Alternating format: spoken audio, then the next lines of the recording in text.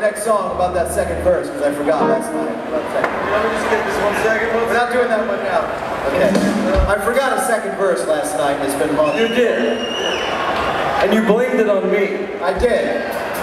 You're the new guy, so I'm the new guy. technically. but you can really sing, so you get off with the pass. Well, you know what I mean? Hold on. Here we go. And we're gonna do some Hendrix, I think, right?